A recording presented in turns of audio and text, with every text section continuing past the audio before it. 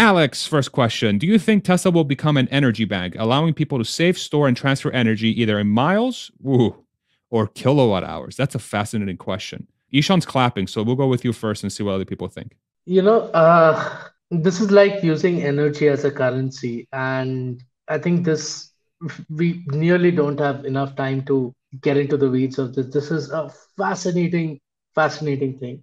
I think this is something that's uh, almost already happening where you are like, you know, with, with Tesla Energy and using your Powerwall to store, you know, energy and then transferring it when the grid needs it. There's a little bit of commerce already happening.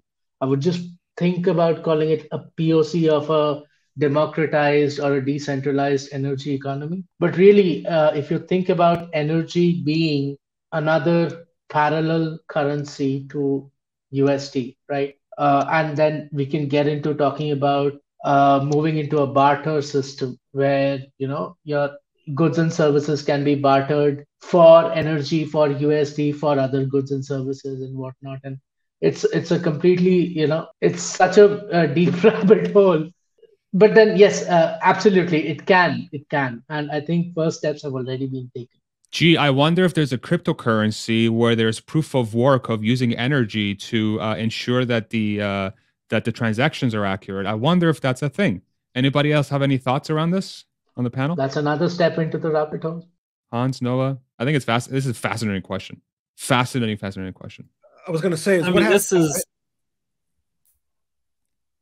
Who's going to go first? Go ahead. Everybody all at once. Go. it already is uh, happening in Australia, like and other places. So this is going to be the core thesis for Megapack that it is exactly an energy bank that balances grids and supplies low cost energy regardless of when it's generated to exactly the point that it's needed at exactly the time that it's needed in the exact correct form that it's needed you know because there's all different types of power that is consumed whether that be 120 volts 240 480 and then different phases of power for different types of industrial applications. So this is going to be something that and that's you know one of the things that they talked about at the investor day was the ability of the tesla megapack to emulate any sort of generation asset in order to be able to balance the load on a grid like that is the definition of an energy bank and that's just going to be one portion of Tesla's overall interaction with energy as they talked about. Yeah, I think that if you think of this from um, like a production standpoint, like you have um, supply and demand. So, like the supply of energy, you're incentivizing people to produce more energy. And so, as the amount goes up, obviously the demand can go up too, but I don't think it's going to go up as much as our energy production once we start using renewables in this way. So I, I don't know if the oversupply of energy is going to be profitable per se. So it's I think generally speaking in the future, the way energy is going to be charged is not necessarily for the amount of consumption, but just being on the grid or or paying for the initial upfront cost of installing the equipment to do power, if that makes sense. Bob, and then uh, next question. Yeah, Noah is just brilliant. So, along with his answer, I was going to say is yes. The answer was yes, but as the cost of energy goes down, then maybe it's not as valuable. Yeah, I think I think everything that fact, Tesla touches is deflationary. Yeah. Yeah, and uh, Roger Starkey actually uh, brought up something that Tony Seba said about it, which is too too cheap to meter and less than the cost of transmission. Yeah, I think that says quite a lot. Yeah. Next question. And oh no, question. Did you hear about the possible room temperature superconductors advancements at the All In podcast? Get Jordan on that.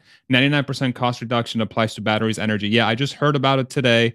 Uh, it's still experimental. They still need to figure out a lot of it. But if this becomes true, then uh, all bets are off, and I feel like Tesla would be at the forefront of that research. Any any thoughts from the panel on this? I yeah, just... from the same podcast, it's nuclear fusion, right? Every time you think you are, you know, that much closer to something, it's just you've covered only 50% of the way and it's like an infinite loop. And and from my kids, we're still a long way off. I mean, it's it's a long way in the future to be practical. Yeah, I don't know about the specific um, breakthrough. But for me, I remember back in college from 2009 to 2012, I probably read 50 articles a week about battery technology because I was like super excited about the breakthrough and hub motors and electric cars like early in the early days. Um, and everything, all of these promises kept coming and all these articles were there to, to you know, spark my attention. Um, and 10, 12 years later, you know, we still haven't had a crazy breakthrough yet. So we, for all I know, this might be it. Like, it, but you know, there's been you know thousands of lab experiments and stuff to get us. So maybe they've broken that and they've got further along. I haven't done the research in it. It could be it, or it could be another one of those. Oh, it's promising a lot. We'll see. Hans. Yeah, if only there was a company that was really great at manufacturing things and also was a foremost industry leader in battery technology. I wonder who that would be. Yeah. Um, but on that note, the other thing is that prototypes are easy and production is hard. And so, you know, even if they're able to create a successful prototype on this, ramping this to the type of scale to where it'll have that 99% cost reduction across all the industries that it can possibly touch is going to take a long time. So exciting, um, but definitely like we're still in the way, way, way early stages. So it's easy to be on the enthusiasm part of that Gartner hype cycle. Yeah. Agreed. Next one. And Billy, community member, thank you so much for your support. Do you think there will be an artificial price floor on used Teslas at $25,000 for the next five years because of the 4,000 IRA credit for used EVs priced below 25,000? What a fascinating question. So, so the way this works is uh, IRA tax credit gives you um, twenty five uh, four thousand dollars as long as your used EV is less than twenty five thousand dollars. And so the thought process here is that just all used Teslas will be twenty five thousand to take advantage of that four thousand. How do you guys think about that? I think there's got to be a limit to how many times a car could be sold with that credit. So it's like if I sell it back and forth between my brother and myself. Once. Yeah, yeah. So it's probably once. And then the other thought would be not only does that help kind of create some sort of floor if it's if you haven't sold it before? But then there's the battery and the material of the batteries like that also kind of simulates a, a floor there as well. So yeah i think there's something. I don't know if it doesn't tra- if it's only one cell then i don't i don't know how relevant that's going to be in the long term though. I think the free market will bring it to a point where uh, it makes uh, you know uh, sense. People will hold on to the cars not for two years but perhaps for five seven nine years where it becomes something close to a twenty-five to twenty-eight thousand dollars, and then yes, uh, it's not a price floor, I would say, but a price cap more like, and then people will have to actually sell it for less than twenty-five because the dealer will have to make some money off of it. But that 4K might actually help uh, cover that cost. Now the thing is, um, today people are buying Teslas for you know anywhere between forty to uh, 70 80 thousand dollars. So it's still a ways off before somebody would be willing to sell it at the low 20s number. So i don't think that's happening anytime soon especially for the cars that have been sold in the last couple of years um, when the prices have been steadily rising.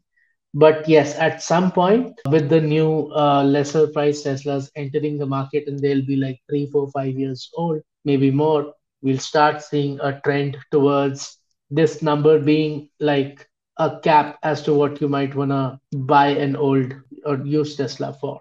But I would, I might think, and this is again pure speculation, that the IRS might step in and say, if you're not selling it at fair market value, then we're gonna, if you're the seller, that's what we're gonna charge you for fair market value, and they'll pick up the difference, and then that will escalate the sale price because people aren't going to want to. At that point in time, there'll be no value. I don't think that exists as of now, I wouldn't be surprised if they try to recapture the the money that way.